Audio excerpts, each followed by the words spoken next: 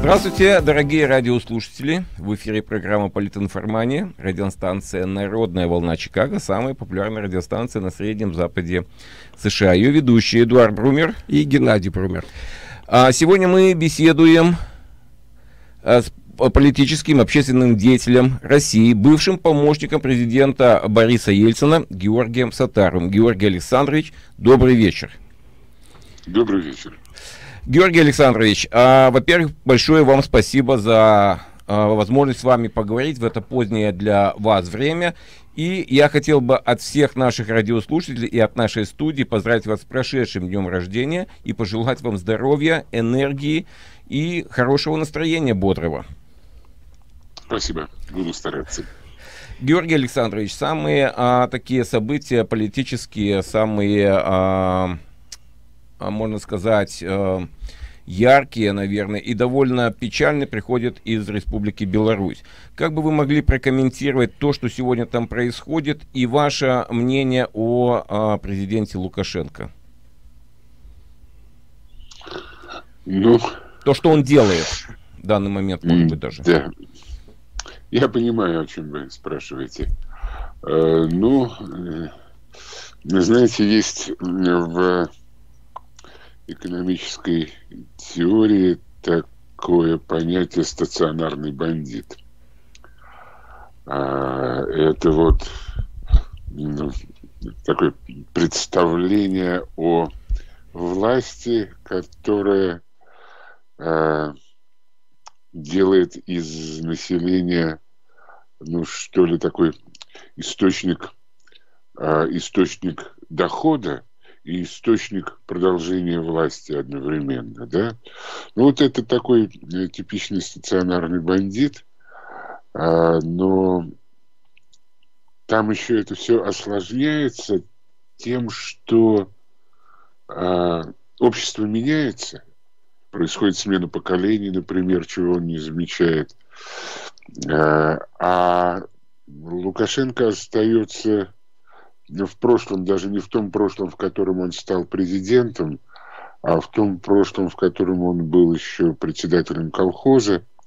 А в советских реалиях это же ну, такой типичный полновластный хозяин. Вот он руководит страной как колхозом, считая при этом совершенно необоснованно, что он благодетельствует этим самым всех и искренне недоумевают, почему Э, не замечают его потрясающих талантов, усилий, результатов, хотя результаты предельно сомнительные. Э, чем больше он недоумевает, тем больше в его картине мира происходят совершенно колоссальные искажения. И мне кажется, что на самом деле совершенно искренне, когда он говорит, видит в этих людях, ну, то, как он их называет. И это просто какой-то гигантский феноменальный разрыв между реальностью и его представлениями о власти. В этом смысле он для меня напоминает Путина. У всех диктаторов рано или поздно происходят такие искажения. Вот так бы я сказал. Георгий Александрович, а, очень быстро, есть ли у него шанс сейчас остаться у власти, закрепиться, или все-таки никаких шансов а, нету? Как, как будет развиваться события в ближайшие дни? Это трудно, трудно сказать, потому что, ну, мы видим по Лукашенко, по его словам, по его поступкам, что он существо довольно непредсказуемое. Это первое. Второе. А, я считаю, что оппозиция Беларуси допустила довольно большую ошибку, что не сосредоточила свои главные усилия на первом этапе на пересчете голосов.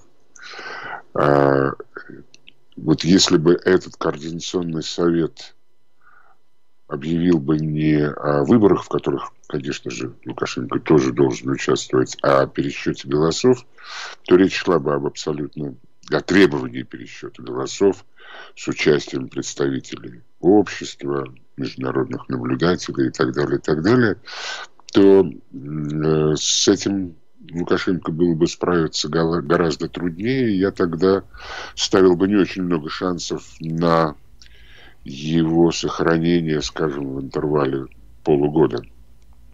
Потому что логика, там понятна дальнейшая логика и изменения отношений к нему на Западе, и изменения отношений на Западе к результатам выборов и так далее, и так далее. Вот.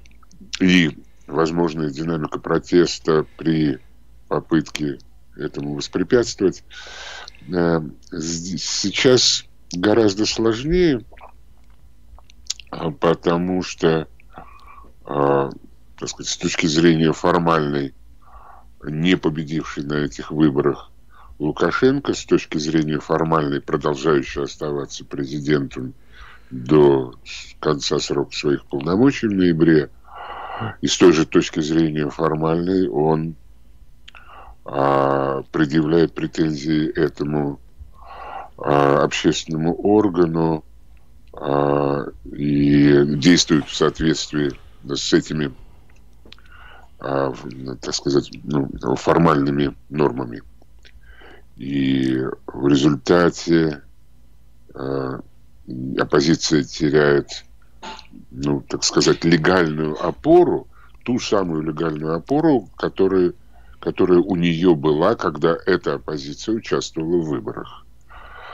Вот. И эта ситуация гораздо более непредсказуема, как мне кажется. Я не уверен, что а, вот это общество, которое нам продемонстрировано а, белорусами, это новое общество – оно будет долго терпеть Лукашенко у власти, но сейчас, как будут развиваться события, сказать очень трудно. Но я не думаю, что это дойдет до предусмотренных законом следующих выборов с участием Лукашенко. А как вы считаете, зависит ли власть Лукашенко от решения президента Путина каком-то смысле оставить его у власти или все-таки надавить и провести своего какого-то кандидата? Как вы это видите? И, и если я да. хочу просто добавить, я прошу прощения, если такое понятие дипломатическое а, аншлюз а, России в отношении, а, может ли произойти аншлюз России в отношении Белоруссии? А, я думаю, что из этих трех вариантов самый вероятный это э, Лукашенко ослабленный, э, озлобленный, растерянный Лукашенко у власти. Э, с таким Лукашенко Путину иметь дело гораздо более приятно, чем с тем Лукашенко, каким он был до этих выборов. А что касается аншлюса, мне кажется, это маловероятно. Что касается проведения своего кандидата, ну, давайте посмотрим на этих людей на улицах. Как вы думаете, они позволят такое сделать на выборах? Вряд ли. Я сомневаюсь, да, конечно. Ну, вот говорят о том, что есть такой кандидат, который, к сожалению, сидит э, в тюрьме, это Виктор Бабарика. Его связывают э, с банком э, «Газпрома», он и возглавлял там много лет. Как вот вы видите эту кандидатуру? Ну, э, понимаете, э, значит, я бы сказал так, что это довольно умный человек, который прекрасно понимает, что любые что любые его попытки объявить, так сказать, себя прокремлевским э, кандидатом это похороны, да, так сказать, вот при живом человеке политические похороны. Любые его попытки, представим себе, что он участвует в выборах и побеждает, любые его попытки начать реализовывать ту программу, которая ну, согласно этой гипотезе про кремлевского бабарыка, должна быть в него заложена, она ну, тут же вызовет совершенно э, гневный протест, при том, что э, Бабарек это не, не Лукашенко, он еще не укоренен в элитах и в силовых элитах прежде всего, и он не в состоянии будет абсолютно против, противостоять натиску э, такого общества. А, Георгий Александрович, давайте мы перейдем к второй а, очень а, такой а, теме, о которой сегодня все говорят. Это а, отравление Алексея а, Навального. Навального. Скажем так, условное отравление, хотя немецкие медики подтвердили, отравление, но не сказали, как, чем, чем конкретно он был отравлен.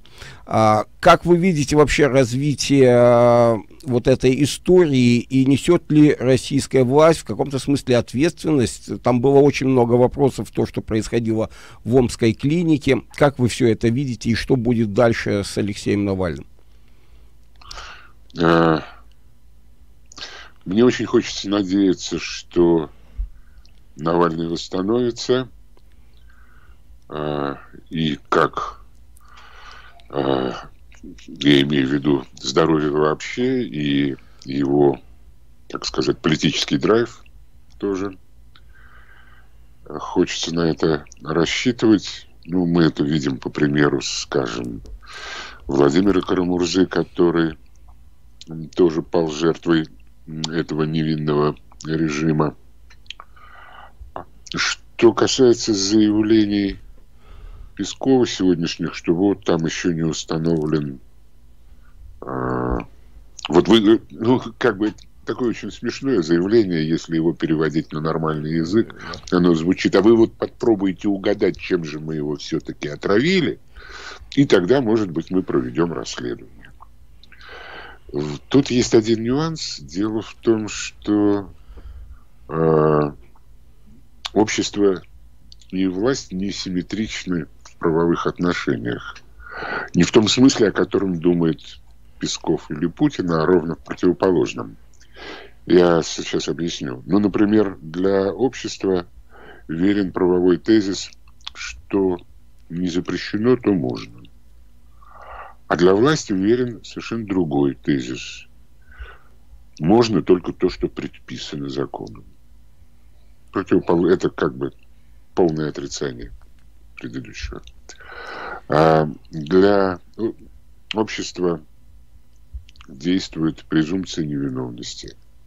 А для власти ровно наоборот. Власть должна, если ее подозревают в преступлении, должна доказывать, что это подозрение несправедливо, неверно.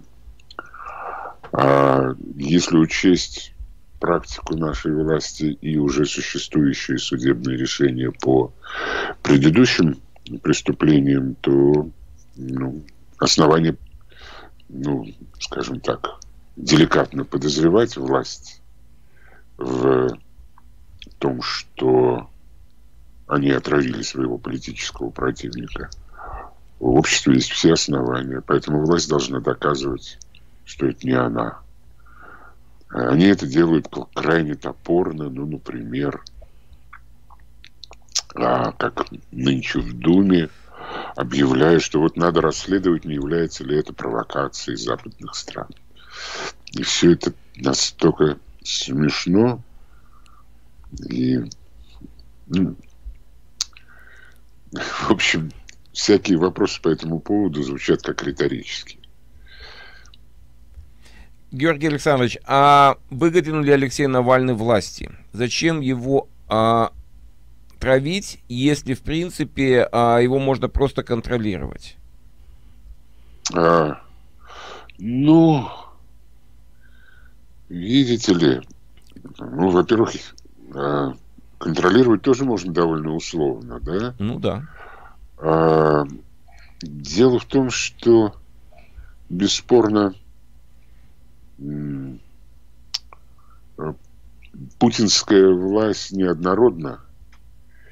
И я уверен, и тому есть много косвенных пока во всяком случае, свидетельств, что и отношение к Навальному там неоднородно, и что, например, если Навального используют, то не напрямую, а ну, как факт его существования активности используется как бы одной башни Кремля против другой башни Кремля. Вот так, скорее всего. А, и если говорить, чем же он опасен был пока был. Я опять же повторяю, надеюсь, mm-hmm. что все закончится благополучно, он восстановится. Э, это совершенно понятно. А, путинский режим теряет под ногами устойчивость. Это видно по происходящему в стране. Э, и Екатеринбург, ШИЭС, Хабаровск, Башкирия и так далее, да? А это показывают социологические опросы, а на носу выборы, а активность а, в данном случае Алексея Навального очевидно, он занят работой со своими штабами, готовит их к выборам. И власти страшно. Просто страшно. И для них он источник угрозы. Вы знаете, это смешно. А вот это совершенно архаично, ритуальное а, избегание называния имени ну, Навального. Да. Это напоминает а, и не упоминая имя Господа в суе и не упоминая имя дьявола в суе. Вот. Ну, просто такие древние, социально древние страхи. Смешно.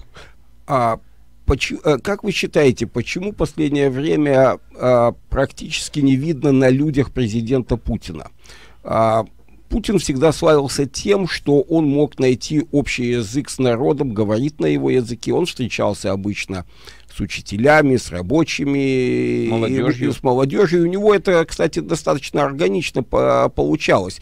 Но вот сейчас, как бы в такое непростое время, он как бы исчез. Он как, как бы такое чувство, что он вещает откуда-то сверху, с какого-то вот э, монитора его никто не видит, все знают, что он есть, а вот нету его присутствия. Как вы считаете, вот э, что случилось, почему вот он не идет в народ больше? Ну, есть две гипотезы. Первая довольно очевидная, это коронавирус. А, он очень опасается любых угроз своему здоровью. Он бережет себя для России это же понятно. Вот. И, во-вторых, ну, наверное, он не настолько уверен э, в своей харизме. Я напомню вообще, что по исходному определению харизма это не свойство человека, а это свойство, которое приписывают другие человеку. Э, это имеется в виду харизма власти. А, и я думаю, что он чувствует, что вот это свойство он теряет и а, больше не рассчитывает на такое магическое воздействие людей, окружающих его. А, Георгий Александрович, перед тем, как мы уйдем на рекламную паузу, довольно короткий вопрос, но может оказаться длинный ответ а, в вашем случае. Уже очень много лет а, политический бомонд России обсуждает, кто же может все-таки сменить а, Владимира Путина на его посту. Обсуждается очень много разных фамилий, и а, с каждым годом это все усиливается. А, есть ли вообще у него а, преемник, и э, я не прошу как, называть какие-то фамилии, это всегда все условно, но есть ли на самом деле этот преемник, и может ли он в ближайшее время, я имею в виду год, ну, может быть, два, сменить Владимира Путина, или это все-таки такие домыслы политологов? Ну, вы знаете, э, я не склонен анализировать э, конкретные персоны. А, видите ли, ну, так, так сказать, достижения социальной психологии показали, что а, когда мы пытаемся сопоставлять влияние на поведение людей личных качеств и обстоятельств, оказывается, что обстоятельства сильнее. Как правило, с вероятностной точки зрения, как правило, э, сильнее, чем индивидуальные качества. А обстоятельства таковы, что а, возможно, точнее неизбежное, просто неизвестно, когда это произойдет, окончание царствования Путина довольно бесславно. И совершенно очевидно, что кто бы ни был его преемником, для того, чтобы, ну, скажем, обрести свою харизму, должен составлять контраст Путину. Он должен стать антипутиным точно так же, как, как Путин когда-то стал антиельциным. И Путин делает очень многое для того, чтобы вот этот анти-Путин, кто бы, кого бы он ни избрал, очень наивно рассчитывать на какую-то, ну, так сказать, политическую верность. Она может быть человеческая, индивидуальна. Но политическая верность – вещь чрезвычайно условная. И поэтому э, любой его преемник должен строить в своей программе, в своей политической практике, в своих действиях строить ну, некую противоположность Путину. И это уже будет большим шагом вперед для России. Вот я бы так сказал. Георгий Александрович, мы сейчас уйдем на рекламную паузу, э, пару минут, и потом вернемся. Не отключайтесь, пожалуйста. Спасибо. Конечно. Мы возвращаемся в программу «Политинформания». Ведущие Эдуард Брумер и Геннадий Брумер. Сегодня мы беседуем с, полити... э, с политиком, общественным деятелем России, бывшим помощником президента Бориса Ельцина Георгием Сатаром. Георгий Александрович. Слушаю вас. Да. да. А, Георгий Александрович, такой вопрос. Вы три года были помощником Бориса Николаевича Ельцина, первого президента России. Могли бы вы для наших радиослушателей составить портрет этого, скажем так, неоднозначного человека, его плюсы, минусы, каким он был человеком, не только политиком, а, может быть, в личном плане вы с ним общались. А, и на протяжении вот этих многих лет, его уже нету 13 лет, а, он ушел из жизни. А, что бы вы могли сказать? Вот портрет его, это интересно, просто из первых рук. Ну, что значит общался в личном плане? Дело в том, что моя э, работа с ним облегчалась тем, что у нас не было истории личных отношений. Он меня, так сказать, пригласил, э, полагаясь, полагаясь на какие-то мои э, профессиональные человеческие качества. Э, и, ну, по нашему общению после моей отставки можно заключить, что он не разочаровался, не только во мне. Э, ему вообще нравилась наша команда. Вот. А, и ну, то есть у меня было с ним общение, систематическое общение тет-а-тет, естественно, по деловым вопросам. А, ну и мы встречались а, время от времени после его отставки уже у него дома и не по службе, понятно. Мы приезжали поздравлять его с днем рождения или там еще приглашал по каким-то поводам. Вот. А, поэтому а, я могу судить о нем только как о а, начальнике и как президенте. Да? Если говорить о нем как о начальнике, а, то это было довольно комфортно. Потому что, ну, во-первых, он был начисто лишен хоть каких-то признаков хамства по отношению к подчиненным, что встречается довольно редко. в России. А, он, ну, можете себе представить строителя, который не терпит мата, не, не, не ругается сам и не любит, когда ругаются другие. Ну, это так, так, такие чисто старообрядческие понятия, как говорят нынче. А он, а, ему можно было говорить, ну, скажем, вещи, а, я бы не сказал, неприятно это не, не точное слово, а ну, ну, очень часто бывает, ну, я знаю, что так происходит с несчастным Путиным, что э, ему боятся сообщать вещи, которые ему могут не понравиться. Вот э, с Ельциным такого не было. Более того, со мной, именно потому, что у нас не было истории личных отношений, меня мои коллеги э, любили посылать к нему в качестве гонца, так условно назовем, когда нужно было говорить какие-то такие вещи. Вот. И это никак не сказывалось на моей дальнейшей работе с ним. А, он был внятен голосу разума, он любил учиться, он очень ценил, а, он очень ценил, а, ну вот такой эпизод, а, значит, я попал Э, как и мои некоторые мои коллеги по той команде кремлевской, попал к нему из президентского совета, а вообще в этот президентский совет мы попали, ну, ну так сказать, по некой системе профессионального отбора, если угодно. Вот. И а, кто-то из нас, вот, допустим, я и Юрий Михайлович Батурин, мы стали помощниками президента, кто-то а, стали э, советниками и работали в аналитическом управлении, как э, Леонид Смирнягин и Эмиль Пайн. Кто-то продолжал сотрудничать как член президентского совета. Э, ну, я, я вот о каком эпизоде.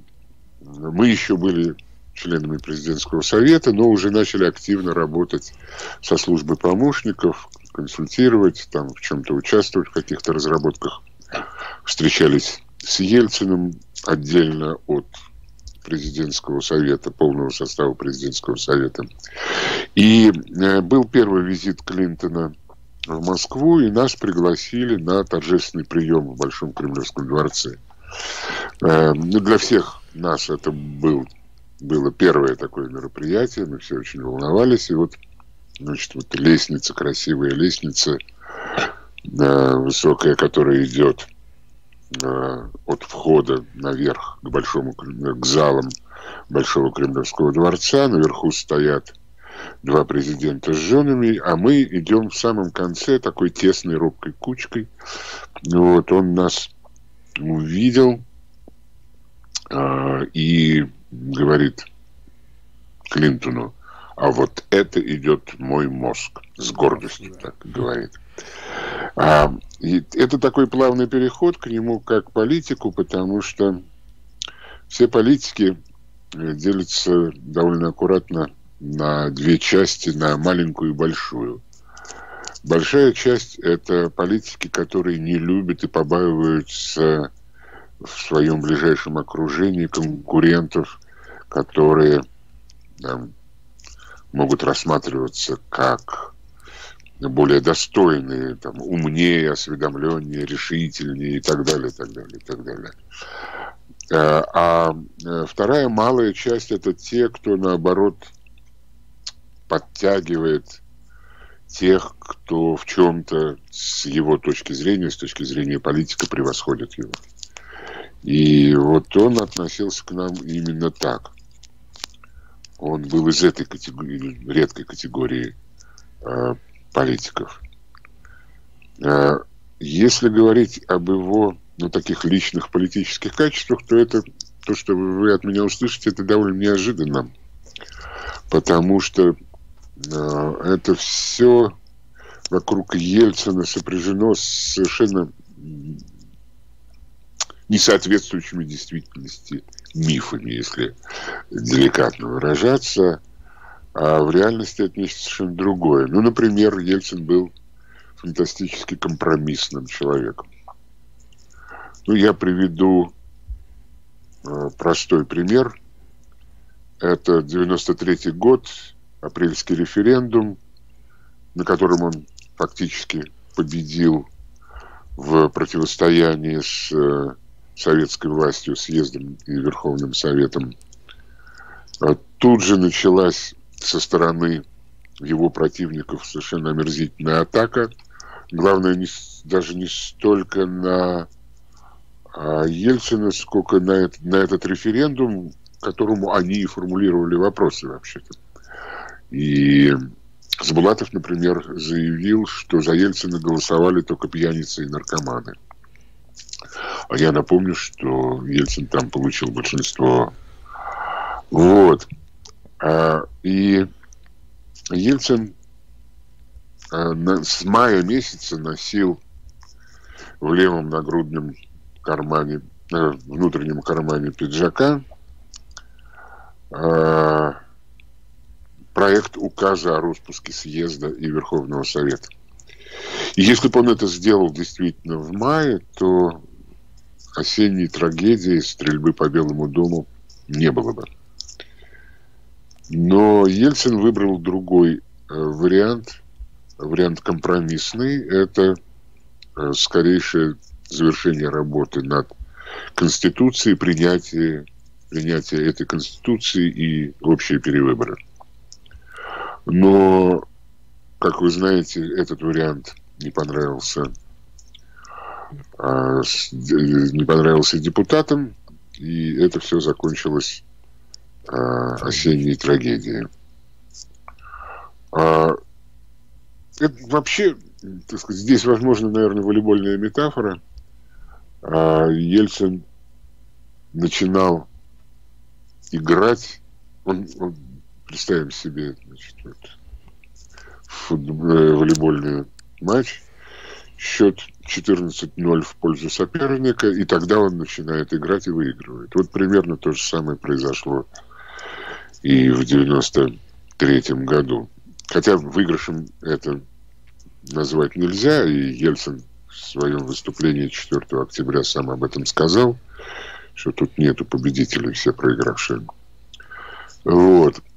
А, но э, в данном случае я говорил о его политической манере – а, о нем ходит миф, что для него главная власть. Более нелепого мифа трудно себе представить. Ну, давайте скажем... Ну, можно много эпизодов просмотреть. Давайте сначала. Значит, вот он кандидат в члены Политбюро. А, у него прекрасная стартовая позиция для восхождения на более высокие посты. И член Политбюро, и генеральный секретарь, и так далее. За ним Москва, Москва его уже любит. И вместо этого он предъявляет Горбачеву претензии по поводу торможения перестройки там и так далее, и так далее. И его отправляют в отставку.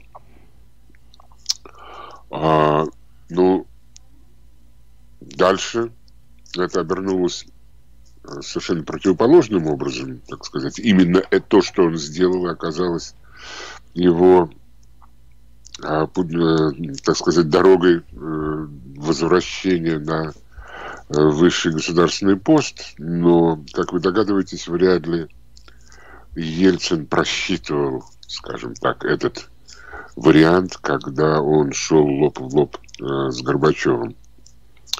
Давайте вспомним другой эпизод Значит, вернемся в 93 год. Ельцин становится ну, фактически единственным легитимным органом власти. Съезд Верховный Совет распущены. А, нужно продолжать реформы. И тут бы как бы объявить что-нибудь временное и долгосрочное – связанное там с политическим переустройством страны, и превратиться в нормального э, диктатора-реформатора. Но вместо этого он объявляет выборы. Да? Вряд ли человек, которого обвиняют в том, что для него главная власть, пошел бы таким путем. Давайте рассмотрим, это я взял из серединки, давайте рассмотрим конец его политической карьеры, это его уход в отставку. Он ушел в отставку, когда увидел, что а, коммунисты проиграли на выборах 99 -го года, что Путина, у его ставленника Путина, я сейчас не рассматриваю, хороший выбор это или плохой, а, растет популярность, и он а, досрочно ушел со своего поста. А, согласитесь, что все это работает против вот этого мифа о том, что для него главная власть. Конечно, он был человеком мессией, а власть для него была инструментом. Другое дело, какие претензии мы к нему можем предъявить и по поводу этой миссии. Тут есть разные точки зрения, естественно, и по поводу того, насколько эффективно он э, этим воспользовался. Но э, последнее, что я хочу сказать, что пребывание во власти разрушает еще один универсальный миф, связанный уже не с Ельциным, а с властью вообще – а, считается, что чем выше по пирамиде власти ты забираешься наверх, тем больше у тебя возможностей. На самом деле оказывается все ровно наоборот. Чем выше ты забираешься, тем больше ограничений ты видишь. И такие досужие рассуждения, что вот что-то нужно было делать так, а не так, обычно на лестнице, ну, а, они, как правило, довольно наивны. А то, что в заслугу Ельцина можно поставить очень многое, но для этого мне понадобилось, понадобилось бы еще полчаса. И это совершенно бесспорно. А, Георгий Александрович, а почему, а, как вы думаете, почему Борис Ельцин остановил свой взгляд именно на Владимире Путине? Почему, что его зацепило а, в характере этого на вид невзрачного человека, а Борис Ельцин был человеком опытным, и все-таки а, взгляд его остановился именно на нем. Вы знаете, э, ну, во-первых, взгляд Ельцина остановился много на ком. А, ну, я, я имею в виду окончательный виду... выбор. А? Я имею в виду окончательный выбор, который он сделал. Э, э, стоп, значит, то, что видите ли, а, то, что это выбор, когда Ельцин а, предложил Путину пост премьера, это не значит, что это был окончательный выбор. Окончательный выбор он сделал в тот момент, как я уже сказал, когда он уходил в отставку. Именно в, в этот момент он в своей прощальной речи сказал, я вижу в нем своего преемника. До этого это был один из возможных преемников, а до этого был Примаков, до этого был Степашин, до этого Кириенко. рассматривались э, Бордюжа, Николаев, Аксененко. Э, там э, ну, э, речь идет о том, что после дефолта в августе 98 года, который был для Ельцина очень большим шоком, а, у Ельцина из, изменился образ преемника. Если до этого он видел такого ну, нового Гайдара, там, типа Немцов или типа Кириенко и так далее, да, то э, после дефолта он как бы видел преемника с другой задачей сохранить то, что достигнуто. А, в общем, тогда уже начинался экономический рост. И он перебирал уже в, э, в поисках преемника, он перебирал служилых людей. э, пограничники, чекисты, там, кто военные, кто угодно. И э, Путин оказался, я бы сказал так, что э, трудно сказать, что бы было с Путиным, если бы э, коммунисты не проиграли на выборах 99 -го года, а Путин не начал бы э, набирать э, очевидным образом начал э, набирать популярность, вполне возможно, что его бы сменил следующий кандидат до момента штатного ухода Ельцина со своего президентского поста. Он просто оказался э, удачно на этом посту в удачное время. А, Георгий Александрович... Что это выбор оказался да. не, неудачный, естественно, ну, это для меня было очевидно практически с самого начала. А, Георгий Александрович, такой вопрос. А, ну, у нас передача э, скоро заканчивается. А, о поправках а, Конституции, о самом вот то, что произошло самым э, серьезным действии президента э, Путина, как это вообще скажется на будущем России и как это будет работать или, может быть, это будет как-то по-другому смотреться? Ну, я не думаю, что это будет долго работать, точно так же, как я не отвожу долгого времени Путину. Это, ну, так сказать, любой я уже говорил по причине, а, указанной выше, любой его преемник первым делом а, отменит эти а, поправки по разным причинам. Там, это можно обосновывать там, нелегальностью процедуры и так далее, и так далее. Да? Не говоря уж о самом содержании этих поправок. Понятно, что эти поправки направлены на решение двух задач. Первое – это как бы сделать квазилегальный а, его, квазилегальным его продолжение а, пребывания на президентском посту. И второе – это как бы вывернуться из-под пресса э, давления международного права, что облегчает произвол полицейский, неправовой произвол, ну, в широком смысле полицейский неправовой произвол внутри страны. А вот это было, это было две главные задачи, все остальное дымовая завеса. А, Георгий Александрович, вот часто беседуя с известными политологами, артистами, а, экономистами из России, мы всегда задаем практически один и тот же вопрос, ну, только под разным углом. А что да. такое сегодня российское общество? Насколько оно политизировано или оно не политизировано? Насколько оно обращено а, в сторону Запада, либо оно обращено вовнутрь себя? Как вы это видите?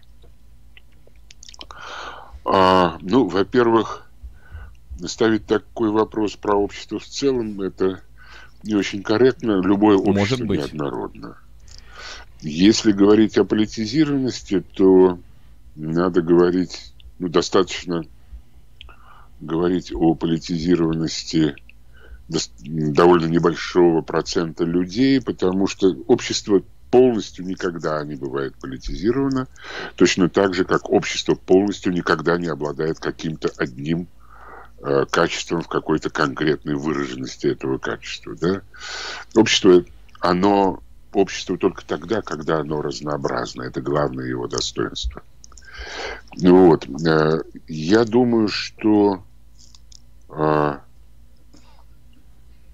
то, что делает власть, и это видно потому, что происходит в России, ведет и к увеличению политизированности, она обретает более, так сказать, широкие социальные горизонты, и, э, и степень этой политизированности. А главное, что произошло, это произошла смена поколений. Я напомню слова Артура Шлизингера-младшего в его книжке «Цикл американской истории». Он написал, у каждого поколения есть своя революция. Вот пришло новое поколение, мы это увидели летом э, прошлого года э, со своей а, недалекой революции.